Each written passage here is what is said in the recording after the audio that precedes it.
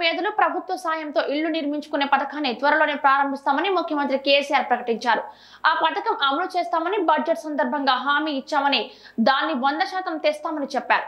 శాసనసభలో శుక్రవారం సంక్షేమంపై జరిగిన లఘు చర్చలో సభ్యులు మాట్లాడిన అనంతరం వారి ప్రశ్నలకు సందేహాలకు సీఎం సమాధానం ఇచ్చారు నిర్దేశించిన అర్హతలను పాటించి ఒక్కో నియోజకవర్గంలో వెయ్యి నుంచి పదిహేను వందల మందికి లబ్ధి చేకూరాలే పథకాన్ని అమలు చేస్తామని చెప్పారు.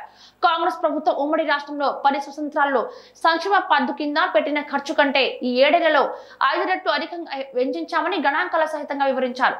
రాజకీయాల కోసం రాష్ట్రాన్ని చులకన చేసి మాట్లాడొద్దని ప్రతిపక్షాలకు సూచించారు. ఇంకా పలు అంశాలపై సీఎం మాట్లాడారు.